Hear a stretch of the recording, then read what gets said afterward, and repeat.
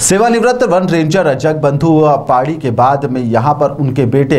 R W S engineer Sunil Kumar के द्वारा यहाँ पर सरकारी धन के दुरुपयोग के आरोप में कटक और ब्रह्मपुर में यहाँ पर विजिलेंस ने छापेमार कार्रवाई करी है, जहाँ पर विजिलेंस ने एक घर पर छापा मारा तो सामान देखकर अधिकारी भी दंग रह गए। एक साथ छः डीसी डीएसपी तीन इंस्पेक्टर और सात एएसआई और कर्मचारियों पर वारंट इस दौरान जारी कर दिया गया है। यहाँ पर कई स्थानों पर एक साथ छापेमारी की गई है, जिसमें तीन मंजिला इमारत के साथ ही अन्य भवन असिका सुमान के साथ ही कई स्थानों पर छापेमारी एक साथ की गई है, जिसमें कई बड़े खुलासे होने की संभावना है। वहीं पर कई दस्तावेज़ जब्त भी किए गए हैं, जिसमें कई सारे खुलासे हो सकते हैं।